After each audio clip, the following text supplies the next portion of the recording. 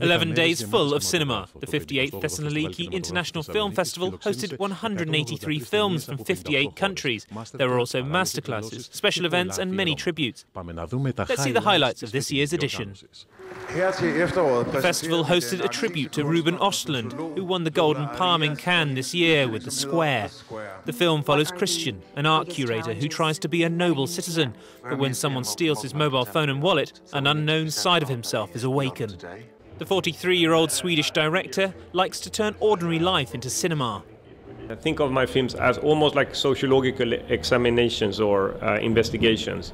And I think that if you look at sociology, it's a beautiful topic because um, it's uh, there to look at us humans when we fail. And I think that I'm dealing with quite much the same things when I'm doing my scenes. You know, I'm trying to create a setup that is Uh, easy to identify but hard to handle. It's the seventh time that Alexander Payne comes to Thessaloniki. He presented his new production, Downsizing. It's about a couple who undertake a procedure to shrink their bodies so that they can start a new life in a new community.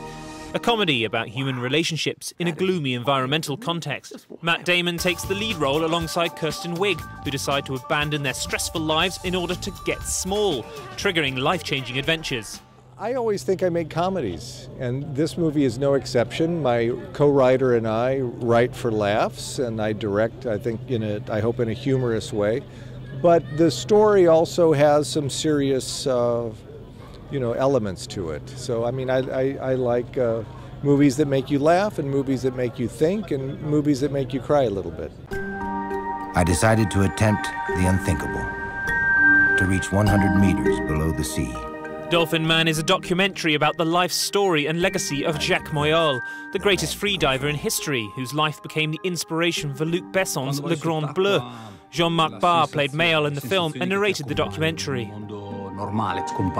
The film talks about the man himself and about uh, the yeah the, the, the, complications of being a, a, a, in a passion like he was and what he sacrificed.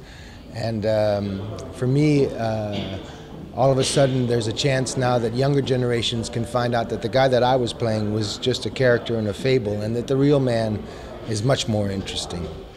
Director Ildiko Enyedi was also in Thessaloniki and was honoured with a tribute. And the film Secret Ingredient had its world premiere before it participates in the first Tallinn Black Nights 2017 features competition programme. But what's new this year for the 58th Thessaloniki Film Festival? First, we had a theme for the films of the international competition program that was taking roots.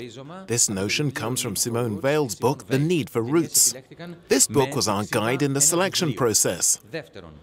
Second, we commissioned 14 young Greek artists to each produce an artwork inspired by a film in the competition, making their own comment on each film. And thirdly, we started a new competition for virtual reality films.